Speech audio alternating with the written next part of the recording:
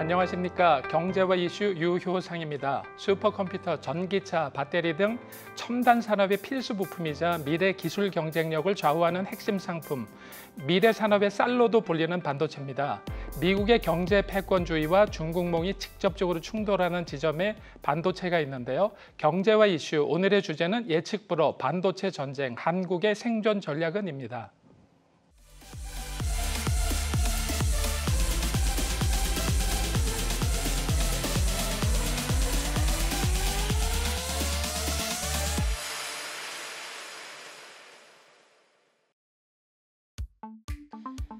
(2022년 3월) 미국, 한국, 일본, 대만의 칩4 동맹 제안.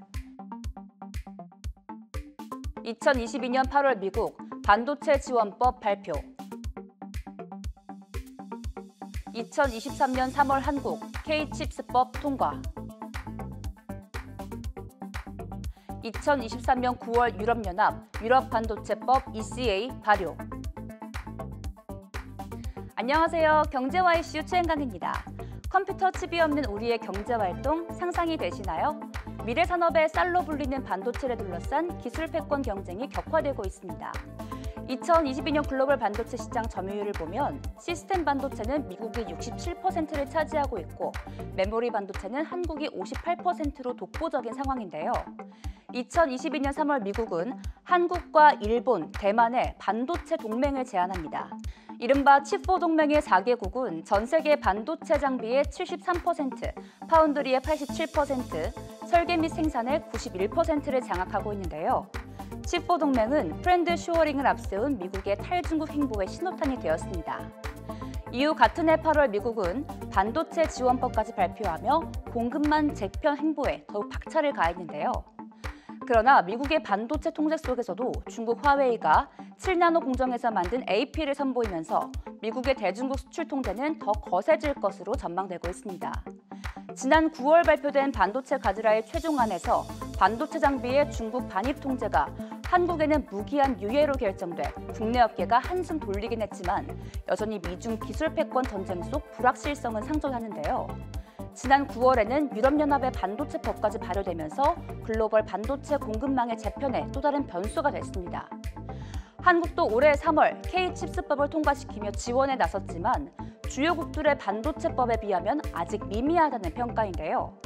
예측 불허 반도체 전쟁 속 한국은 어떤 해법을 모색해야 할까요? 예측 불허 반도체 전쟁 한국의 생존 전략은 이라는 주제로 다양한 시선에서 말씀해 주실 전문가를 모셨는데요.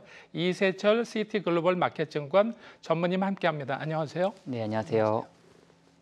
지금 한국 경제가 굉장히 좀 어려운 상황에서 어, 반도체가 굉장히 큰 화두로 떠오르고 있는데요. 반도체 산업을 좀 쉽게 설명하면 어떻게 좀 구성을 볼 수 있을까요? 네, 반도체 시장은 일단 첫째 전체 시장은 한 5,500 억 달러 정도의 규모에 해당되고요. 시스템 반도체가 3천억 달러, 그리고 메모리가 1,500 달러, 그리고 기타 어, 센서 같은 이제 기타 제품들이 한 1,000억 달러 정도 됩니다. 그래서 뭐 각각의 세그먼트별로 어, 주요 업체들에 대해서 살펴보면 시스템 반도체 같은 경우는 엔비디아, AMD, 어, 미디어텍 같은 어, 글로벌 어, 로직 회사들이 있고요. 그리고 로직 쪽은 특히 이제 파, 그 회사들이 좀 구분이 됩니다. 그래서 어, 메모리는 우리가 IDM이라고 해서 모두 디자인, 설계 그리고 어, 생산 그리고 판매까지 하는데 어, 로직 쪽 같은 경우는 디자인을 이제 설계를 하는 아까 말씀드렸던 엔비디아나 미디어텍 같은 회사들이 있고요. 그리고 디자인 하우스들이 있고 그리고 이제 잘 아시는 파운드리 쪽 이쪽은 이제 T, TSC나 뭐 UMC 같은 그런 이제 회사들이 대신 반도체를 생산해주는 어떤 그런 어, 시장 어, 상황이라고 보시면 되겠습니다. 그리고 마지막으로 이제 메모리 같은 경우는 이제 삼성전자, SK하이닉스, 마이크론 같은 회사들이 어, 포진되어 있다고 보시면 되고 어, 센서 같은 경우는 이제 소니 같은 회사들이 대표적인 회사라고 보시면 되겠습니다. 네. 일반적으로 보통 사람들이 얘기할 때는 반도체는 그 메모리하고 비메모리 이렇게 얘기하는데 비메모리가 어, 시스템 반도체를 얘기하는 건가요?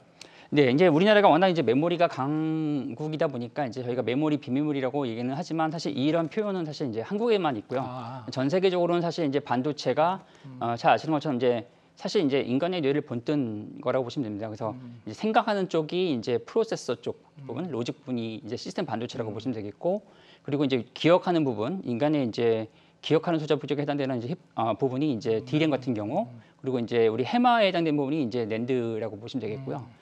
그리고 마지막으로 이제 우리가 오감이라고 할 수 있죠. 시각 센서라든지 청각 센서라든지 후각 같은 센서들이 각각의 이제 해당되는 것들 저희가 센서, 기타 아날로그 반도체라고 보시면 되겠습니다.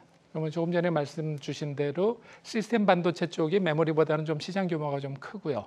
맞습니다. 그쪽 부분의 성장성이 더그 많이 일어나고 있는 상태인가요? 꼭 그렇게 볼 건 아닌데요. 그래도 일단 두 양쪽 다 동반 성장한다고 보시면 되겠습니다. 어차피 그 로직 프로세서와 그의 파트너가 어떻게 보면 메모리라고 보시면 되겠고요.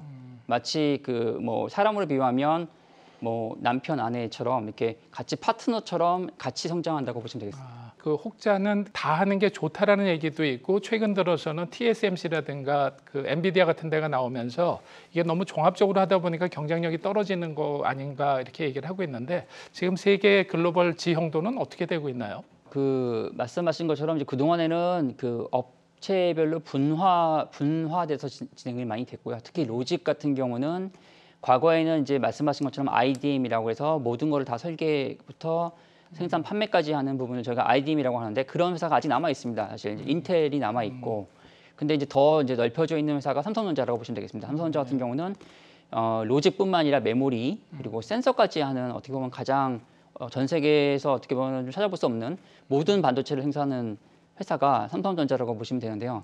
그 동안은 사실 제가 볼 때는 이제 각각이 분화돼서 각각의 역할을 했던 세상이었다면 이- 앞으로의 저희가 보는 기술 방향과 지형적인 상황을 본다면 어, 어떻게 보면 지금 또 거꾸로 삼성전자한테는 좀 기회가 될 수 있지 않을까 생각이 듭니다. 이유는 반도체가 요즘 통합되고 있습니다. 그래서 이제 AI 방향성 때문에 로직 메모리가 통합되는 방향이 나오다 보니까 그쪽 방향에서 본다면은 또 한국 회사들이 또 어, 어떻게 보면 유리한 부분도 있습니다.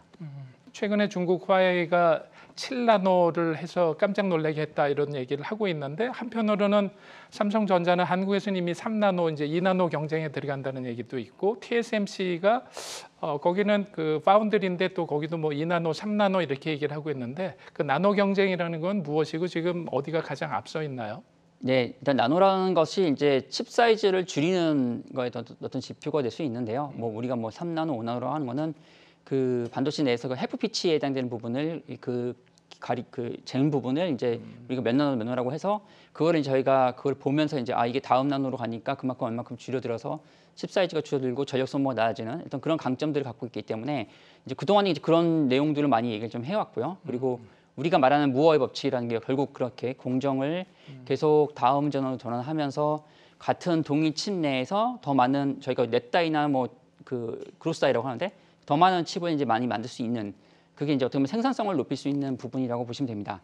다만 지금 어떻게 보면은 무어의 법칙이 어느 정도 깨- 깨졌다 뭐 한계 예, 한계에 좀 뭐. 와 있기 때문에 지금의 어떤 이제 이런 전 공정 front-end 공정에서의 어, 앞으로의 기술의 핵심은 어떻게 보면은 이제 위로 쓰는 stacking 쪽 기술로 좀 많이 전환이 되고 있습니다. 그래서 삼성전자 같은 경우도 말은 3나노라고 하지만 이제 4나노급에 해당되는 공정에서 이후의 3나노에서는 EUV를 더 많이 쓰지 않고 차라리 이제 위로 쓰는 GAA라고 해서 Gate All Around라고 해서 이제 트랜지스터를 그 쌓는 이런 방식으로 기술이 전환되고 있습니다. 그리고 그러면 그 나노 그 경쟁에서 작은 사이즈를 만들면은 훨씬 더 그 회사의 전망이 밝다고 볼 수가 있나요? 최근 보니까 인텔이 이 나노 경쟁에서 뒤처졌는데 가장 빠르게 1.4 나노를 해보겠다라고 발표도 했는데 그건 어떻게 해석을 해야 될까요? 일단은 저희가 나노 공정을 가는 거의 장점은 일단 첫 번째는 원가적인 측면에서 유리한 부분이 있습니다. 일단 그게 첫 번째 하나 이유가 되겠고 또 하나는 이제 전력을 낮출 수 있습니다. 저전력을 낮출 수 있다는 장점이 있고요. 마지막으로 이제 아까 말씀드린 원가를 낮출 수 있기 때문에 그 동일한 공간에 더 많은 트랜지스터를 집적할 수 있기 때문에 더 좋은 성능을 낼 수 있습니다.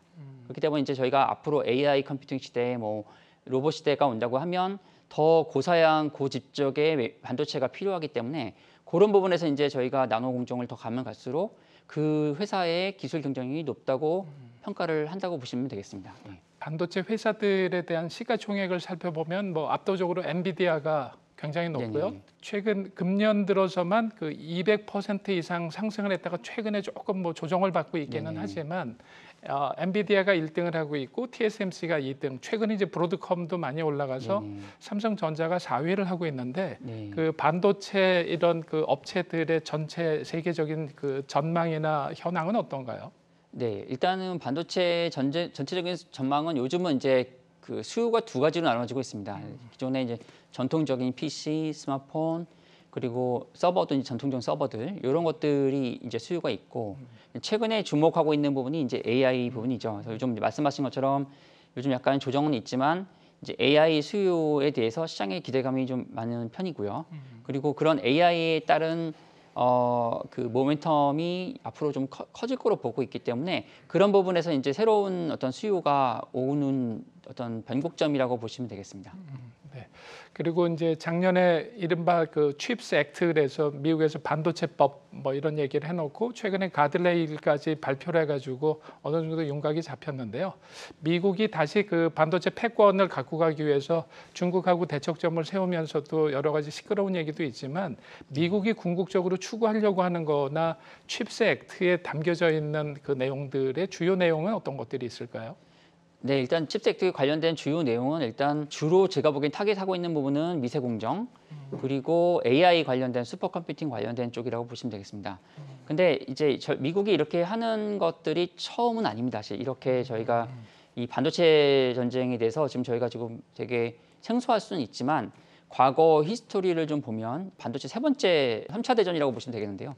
첫 번째 반도체 전쟁은 어, 저희가 냉전 시대 때 소련과 삼- 아, 그 미국이 반도체에 관련해서 분쟁을 많이 있었고요. 그리고 그 당시에 이제 군사 목적으로 반도체가 이제 컴퓨터에 사용되면서 어떻게 보면 이제 그 미사일 같은 같은 정밀 타격 같은 것들에 대한 계산들을 인간이 대신 이제 기계가 하기 시작했던 게 1940년대 50년대 이제 그때가 이제 콜드워 때죠. 냉전 때였고요. 그때 한번 있었고 그때 이제 미국이 어떻게 보면 그 부분에서 어 이제 판정승을 했었고요. 그리고 이제 두 번째 반도체 전쟁이 1980년대 90년대 때 일본과 미국이 아, 한번 또 붙었습니다. 그래서 네. 그 당시 아마 어, 이 일본이 이제 뭐 워낙 그 당시 경쟁이 경제가 워낙 좋았고 반도체 회사도 한열몇 개가 있었습니다. 음. 네. 거의 뭐 전자 회사들 모든 회사들이 반도체를 하고 있었고요. 그 회사들이 어, 시가총액이 미국의 웬만한 회사들 다 넘어가는 그렇죠. 넘어서는 그떤 그런 때가 있었고요. 그때도 똑같은 이제 반도체 분쟁이 있었고 여러 가지 이제 그 규제가 있으면서 그 이후에 다시 또 미국이 어, 주도권을 가졌습니다. 즉 G1, G2 경쟁에서 반도체가 되게 핵심이었던 것 같습니다. 그러다 보니까 어, 여- 여당 야당 할 거 없이 미국에서도 다 반도체에 대해서는 다들 동일한 목소리를 내고 있고요. 어, 하필이면 또 이럴 때 또 G1, G2 경쟁에서 또 중국이 이제 올라오면서 중국이 또 이제 반도체를 육성을 좀 많이 하고 있고요. 결국 예, 예. 3차 전쟁까지 있으면서 대상자만 바뀌었지 계속해서 맞습니다. 강대국끼리의 전쟁이 있었던 거네요. 네네. 그리고 이제 앞으로의 기술 방향이 이제 AI나 로봇 같은 방향성이다 보니까 여기에 반도체가 핵심이고요. 네. 예, 보니까 양쪽 다 물러날 수, 없, 수 없는 그런 상황인 것 같습니다. 네, 요번에 그 CHIP Act에 보면은 특이한 점은 그 강력한 리쇼링 정책을 쓴, 쓴다 그래서 네네. 미국 안으로 끌어들이는 그 IRA도 그랬었는데 맞습니다. 그런 것 때문에 우리나라에도 굉장히 커다란 영향을 미칠 거라는데 어떤 내용 때문에 그런 건가요? 네, 일단 그 동안에는 이제 반도체 그 말씀 리쇼링 전에는 어떻게 보면은 이제 offshoring에서 바깥으로 바깥으로 이제 그 어떤 생산 기지들을 바깥으로 쫓아냈다면 지금은 다시 이제 생산되는 부분들을 다 미국으로 다시 전환하려는 이제 움직임이 생기고 있고요. 실제로 지금 반도체 회사들을 이제 얘기는 하지만 엔비디아나 AMD 얘기하지만 이런 회사들이 사실 생산 시설이 없습니다. 네. 예, 퀄컴도 없고요. 그러니까 반도체를 미국이 지도를 한다고는 하지만 실질적으로 생산은 다 동아시아에 편중되어 있고요. 이런 것들을 이제 미국 입장에서는 어, 자국 내로 이제 끌어들이려는 움직임이 있는데 이거는 비단 미국만의 문제는 아닙니다. 유럽도 제가 어제 유럽도 출장 갔다 왔는데 유럽도 마찬가지로 어, 사실 이제 어, 미국만큼은 아니지만 어, 각 전 세계에 있는 반도체 회사들의 생산 시설을 유치하기 위해서 많은 어, 행- 그 어떤 그 여러 가지 보조금 정책들을 하고 있고 일본도 마찬가지로 최근에 라피더스 같은 경우도 나온 것처럼 어, 아, 자국 내로 지금 만들어서 예, 예, 하려고. 하는 움직임들이 보이고 있습니다. 예. 그러면 중국도 가만히 있지는 않을 건데요. 중국은 어떤 지금 대응책을 쓰고 있는 건가요? 네, 중국은 사실 이제 어떻게 보면은 1900 2000, 2015년부터 사실은 반도체 굴기를 시작을 좀 했고 그 결과가 사실 지금 별로 실적이 나오고 있지는 않습니다. 다만 어, 그동안에 꾸준히 지금 기술 개발을 해오고 지, 어, 회사들을 좀 인수를 좀 해왔던 부분이 있는데 이것이 최근에 이제 막혀지고 있고요. 그래서, 그래서 그러다 보니까 이제 최근에 장비나 여러 가지 기술 규제들이 있다 보니까 중국이 최근에 하는 움직임들은 이제 이거를 차라리 차라리 우리가 내부 내 내부 안에서 다 하자라는 방향으로 좀 보이고 있습니다. 그래서 장비나 소재 이런 것들을 이제 내재화시키는 이런 쪽으로 지금 방향을 좀 선회하고 있는 것 같습니다. 2022년도에 보니까 수출 품목의 한 20%를 반도체가 차지하고 있는데 그 중에서도 중국 시장이 가장 컸는데요. 그리고 우리나라의 생산 시설들이 대부분 중국에 가 있고 네. 이렇게 되면은 우리나라에 굉장히 커다란 영향을 미칠 것 같은데 지금 그 미중 갈등이나 그 미국에 있는 칩 액트나 이런 것들이 한국에 구체적으로 미칠 영향은 어떤 것들로 봐야 될까요? 네, 일단 사실 이제 한국은 사실 직접 영향은 없지만 문제는 이제 한국 회사들이 중국에 팹이 있다는 게 문제입니다. 네, 다행스럽게 최근에 이제 어, 미국에서 어, 그 시설 그 네, 생산 시설에 대해서 뭐, 무기한 웨이퍼를 주는데 문제는 이제 여기에 저희가 보이지 않는 조건들이 좀 있습니다. 첫 번째는 어, 별도의 조항으로 EUB는 제한이 걸려 있고요, 여전히 그렇기 때문에 D램 같은 경우는 EUB 공전 전환이 좀 어렵습니다. 네. 그래서 전환 투자가 좀 쉽지는 않다라는 부분이 있고 낸드는 상대적으로 어, 저희가 3D 낸드이기 때문에 EUV를 도입을 하- 쓰지 않기 때문에 상대적으로 낸드는 조금 어, 큰 문제는 없어 보이고요.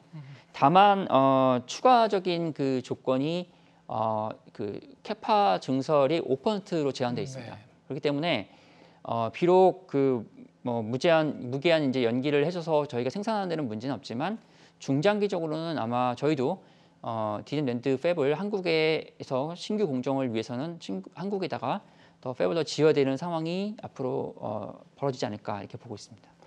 그러면 좀 시야를 조금 좁혀가지고요. 우리나라가 지금까지는 메모리 분야의 뭐 최고의 강국이라고 그랬는데 어, 삼성전자하고 하이닉스가 그 굉장히 좋은 그 경쟁적인 구도를 가지고 있으면서 시장을 키워나가고 있는데 지금 그 삼성전자하고 하이닉스가 주목받는 뭐 HBM 이런 얘기를 하고 있는데 그게 왜 중요한 이슈로 떠오르는 건가요? 네, 일단 HBM은 이제 저희가 full name으로 High Bandwidth Memory입니다. 그래서 즉 그 bandwidth가 되게 높은 메모리인데요. 이걸 다시 이제 저희가 어, 풀어서 설명하면 bandwidth라는 거는 우리의 도로에 그 차선이 많아진다고 보시면 됩니다.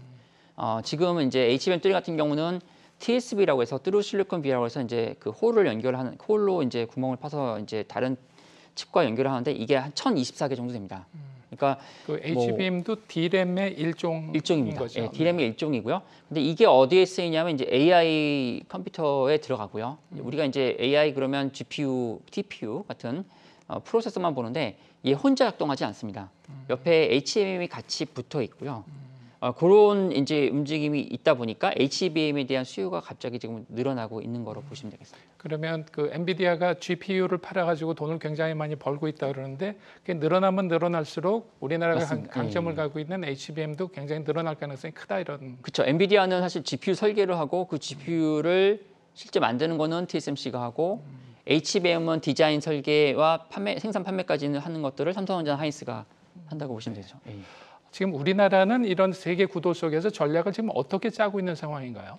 아, 네. 사실 이제 말씀하신 것처럼 이제 미국과 대만 그리고 일본과 대만 이렇게 좀 많이 연결이 좀 되어 있는데 한국은 좀 아쉽게도 아직까지는 지금 다른 국가들과 직접 많은 이제 협- 협업은 많지는 않고요. 어, 굳이 얘기하면은 지금 미국과 지금 미국이 이제 아, 삼성전자가 테일러시티에 어, 파운드리 팹을 짓는 부분이 생기고 있고 최근에 이제 양국의 국가 어, 정상들이 만나서 서로 협업하겠다는 부분도 있고요. 그래서 지금은 저희 한국은 이제 일- 미국과의 어떤 협업을 많이 진행하고 있, 지만 일본과 대만과는 사실 좀 수월한 관계가 좀 있습니다. 그래서 그런 부분들은 조금 앞으로 좀 더 보완해야 될 부분이 있지 않나 이렇게 보여집니다.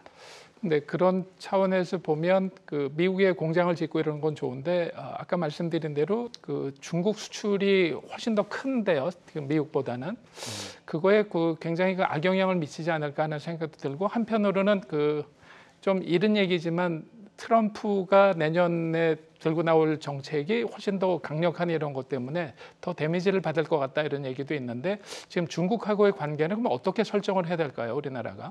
사실 이거는 모든 어쩔 수 없는 상황인 것 같고요. 사실 지금 반도체에 관해서 오히려 좀 중국이 어떻게 보면 한국을 한테 손을 내밀어야 되는 부분이 좀 많이 있는 것 같습니다. 음. 상황적으로 볼 때. 음. 왜냐하면 지금 어, 전 세계 반도체의 어떤 핵심 기술을 갖고 있는 나라들이 미국과 일본, 대만, 유럽인데요. 사실 지금 현재 연합 부- 연합되어 있는 부분은 어떻게 보면 미국, 일본, 대만이 사실 연결되어 있고 그리고 유럽도 연결되어 있습니다. 사실 그렇다 보니까 어떻게 보면 중국 입장에서는 어느 나라와 협업을 해야 될 부분이 많이 있는데 그런 부분에서 사실 한국이 좀 어떻게 보면은 한국한테 오히려 아쉬운 소리를 해야 될 상황인 것 같고요. 그리고 한국 같은 경우는 사실 지금 어 그렇게 중국한테 뭐 어떻게 하지 않더라도 어차피 지금 상황적으로 볼 때는 그렇게 불리한 상황은 아닌 것 같습니다. 다만 최근 저희 대만이나 미, 일, 일본과의 협업에 대해서는 부분에서는 어, 어떻게 보면 이제 적극적이지는 않기 때문에 이런 부분들은 저희가 조금 더 보완할 필요는 있겠습니다. 아, 그리고 한편으로 이제 이런 반도체 전쟁 속에서 구글이나 뭐 애플 같은 데들이 독자적인 칩을 만든다 그러는데 그건 어떤 얘기인가요? 아, 네. 일단 지금 어, AI 칩이 일단 크게 제가 보기에는 두 가지 방향으로 보일 것 같습니다. 일단 엔비디아나 AMD 같이 이제 이런 설계 회사들이 직접 만들어내는 그러니까 어떤 제품을 완제품을 사다가 시- 이제 그 AI computing에 쓰는 방향 그리고 하나는 아까 마- 이제 말씀하신 것처럼 독자 개발을 해서 요걸 자기네 그 이 hyperscaler 데이터 센터에다가 자기네 AI의 어떤 그 응용처에 맞게 최적화시킨 제품을 만드는 방향 두 가지가 나오는데 큰 이제 이 IT 회사들 같은 경우는 뭐 구글이나 엠- 어, 미디어 어, 구글이나 어, 마이크로소프트나 아마존 같은 회사들은 어떻게 보면 자기 직접 설계할 수 있는 그런 부분이 있습니다. 그래서 아마 그런 부분에서 직접 설계하는 어떤 회사들이 생길 거고요. 어, 이거는 사실 이제 AI 쪽뿐만 아니라 자동차 회사도 마찬가지입니다. 네. 자동차도 보면 테슬라 같은 경우가 직접 설계를 합니다. 자기네 그 자율주행 칩셋을 뭐 최근에 뭐 도조도 나오고 있는데 앞으로의 이제 이 회사들 두 가지로 나올 텐데 직접 설계하는 회사들이 있을 거고요. 그리고 이제 엔비디아 같은 회사들한테 지- 이제 받아다가 쓰는 이용, 이용. 어, 부분이 있- 사실 이 부분은 어, 요 AI 때만 생긴 건 아니고요. 지금 사실 스마트폰 시대도 마찬가지입니다. 네. 스마트폰도 보면 애플과 삼성전자는 자기네 직접 설계해서 자기 프로세서를 AP를 자기 스마트폰에다가 탑재를 하고요. 기타 다른 회사들 안드로이드 진영 같은 회사들은 이제 퀄컴이나 미디어텍 같은 회사들한테 제품을 갖다 쓰는 그런 어떤 음. 어, 부분으로 보시면 되겠습니다. 네. 우리나라 정부도 이제 윤석열 정부가 들어오면서 반도체를 굉장히 강조를 많이 하고 작년에 뭐 소위 K Chips 법뭐 이런 식으로 해서 활성화 대책을 내놨는데 그 골자는 뭐고 그게 좀 아쉬운 점은 뭐가 있을까요? 네, 이제 주요 골자는 이제 반도체 육성이고 그다음에 각종 규제를 좀 완화해 주시고요. 그다음에 보조금 일부 지, 원 이런 것들로 통해서 이제 한국의 반도체 산업을 육성하는 이제 좀 방향이라고 보시면 되겠고요. 다만 이제 저희가 앞으로 조금 더 보완할 부분이라고 하면 어 이제 소재 자- 반도체 같은 경우 장비 소재들에 대해서 조금 더 이제 저희가 어 인프라 구축을 더 해줘야 될 것 같고요. 그리고 후공정 쪽 부분이 조금 약합니다. 그래서 저희가 앞으로 앞으로 저희가 후공정을 좀 강조하는 이유는 어, 그 AI 시대에는 메모리와 로직을 통합되는 부분이 계속 발생하기 때문에 어드밴스 패키징에 대한 수요가 늘어날 겁니다. 어, 그런 부분에서 이제 저희가 그쪽에 대한 인프라 구축이 좀 필요할 거로 보여지고요. 그리고 시스템 반도체 같은 경우는 어, 한국이 이제 대만에 비해서 좀 많이 약한 부분이 디자인 하우스입니다. 그래서 네. 어, 저희가 파운드리는 그래도 삼성전자가 큰 회사가 있는데 거기를 뒷받침해 줄 수 있는 디자인 하우스가 많지 않습니다. 몇 개 없고요. 어, TSMC는 한뭐 거의 몇백 개, 몇천 개가 있는데 한, 아, 삼- 한국에는 뭐 한 뭐한 세네 개 정도 회사들이 있기 때문에 어, 어떻게 보면 이거는 서비스 산업입니다. 아시는 것처럼 시스템 반도체는 마- 메모리와 달리 어, 기술도 좋아야 되지만 이거를 고객의 니즈에 맞게 그거를 이네이블링 해줘야 되고요. 그거를 맞게 최적화된 설계를 또 해줘야 되고요. 그거에 맞게 생산을 해서 그거를 그 제- 제때 맞게 납기에 맞게 물건을 공급해 줘야 됩니다. 근데 거기에 대한 lead time도 사실 TSMC 대비 삼성전자가 많이 아직까지는 좀 많이 부족한 부분이 있는데 그 부분이 제가 보기에는 design house들이 상대적으로 많이 어, 약하다. 그래서 이런 부분들은 저희가 육성해 줄 필요가 있- 있을 거라고 보여집니다. 근데 뭐 혹자는 이렇게 비유를 하더라고요. 삼성전자 같은 데는 빵을 만드는데 빵을 맛있게만 만들면 된다. 그래서 빵 만드는 거에만 신경을 썼다 그러면 TSMC는 그 빵 자체의 맛도 중요하지만 디자인을 빵을 예쁘게 해서 많이 팔려고 노력을 했다고 그러면 최근 들어서는 또그 빵 껍데기에 있는 포장지, 패키징 같은 것들까지 다 신경을 쓰기 때문에 맞습니다. 그래서 예. 그런 부분들이 조금 상대적으로 약하다 이런 얘기도 하는데 그게 적절한 비유라고 보시나요? 예, 맞습니다. 이제 거기에 추가적으로 이제 TSMC는 이제 그 빵을 적게 납품을 해서 이제 신선도가 높다고 좀 보시면 되고요. 그렇기 때문에 그 가, 부- 제품의 가치가 타, 어떻게 보면 은 time to market이라는 뜻으로 저희가 해석할 수 있는데 빵으로 치면은 신선한 빵을 제공하기 때문에 고객이 되게 만족도가 높다고 보시면 되겠고요. 네. 그리고 이제 말씀하신 이제 packaging이 옛날에 이제 저희가 별거 없- 아니라고 생각을 했던 부분이 이제 packaging인데 아까 말씀드린 것처럼 advanced packaging이라는 게 이제 칩과 칩을 통합을 시켜주는데 거기에 패- packaging의 역할이 되게 커지고 있습니다. 네. 그래서 포장도 예쁘다기보다는 포장이 되게 기능성 포장이 아, 지금 때문에 뭐 수율도 굉장히 높아질 수 그렇죠. 있다고. 그러니까 이게 네. 고객이 받을 때 기능성 포장을 받아야 되는 상황이 지금 음. 어, 오고 있다고 보시면 되겠습니다. 네. 마지막으로 이제 전반적으로 반도체 지금 산업의 전망을 좀 부정적인 시각과 긍정적인 시각을 좀 총 정리해서 한번 말씀을 좀 해주시면 감사하겠습니다. 이제 안 좋게 보시는 분들은 어떻게 보면은 기존 수요가 너무 안 좋습니다. 네. 예, 기존 수요들이 지금 사실 성장을 못, 음. 못 하고 있습니다. 이런 부분만 본다면 어, 계속 수요를 좀 부정적으로 볼 수밖에 없고요. 아, 한편으로 이제 되게 긍정적으로 보신 분들은 이제 AI 로봇들 이런 쪽 이런들이 커지기 때문에 이, 이쪽만 보면 되게 긍정적입니다. 뭐 수요가 뭐 거의 두 배씩 성장하거든요. HBM도 지금 뭐 내년에 한 두 배 성장할 텐데 이것만 보면 너무 좋을 거고요. 근데 저희가 이제 좀 더 중립적인 시각에서 본다면 이 두 개가 지금 물갈이가 되는 상황이라고 보시면 됩니다. 약간의 이제 이것 때문에 수요에 부진이 생길 수도 있고요. 예, 왜냐하면 어, 신규 수요가 올라오는 것보다 이 기존 수요가 성장, 이 정체된 게 더 크다면 크면은 이게 조금 더 길어질 수도 있고요. 반면에 이제 AI 쪽 수요가 생각보다 빨리 성장하면 전체 시장이 생각보다 좀 빨리 움직일 수 있는 네. 요런 어떻게 보면 어 바다 어 뭐 이제 이 두 개의 수요가 좀 겹쳐지는 그런 변곡점 구간이라고 보시면 될 것 같습니다. 그래서 어 너무 부정적으로 볼 필요도 없을 것 같고요. 너무 또 긍정적으로 볼 필요도 없는 현재 상황인 것 같습니다. 예. 예측불허 반도체 전쟁 한국의 생존 전략은이라는 주제로 재편되는 글로벌 반도체 지형 속에서 한국이 선점해 나가야 할 전략 행보에 대해 진단해 봤는데요. 차별에 대한 좋은 말씀을 해주신 이세철 시티글로벌 마켓증권 전무님 감사드립니다. 네, 감사합니다. 미국과 중국, 유럽연합과 러시아 등 각국의 갈등과 이에 따른 글로벌 공급망 재편 과정 속에서 세계화로 누려왔던 혜택이 축소되며 다양한 우려가 불거지고 있습니다. 그러나 중장기적인 시각에서 보면 새로운 공급망 구축은 오히려 국내 기업과 투자자들에게 또 다른 기회이기도 한데요. 재편되는 반도체 공급망 속에서 새로운 투자 기회를 잘 찾아보시길 바랍니다. 지금까지 경제와 이슈 유효상이었습니다. 감사합니다.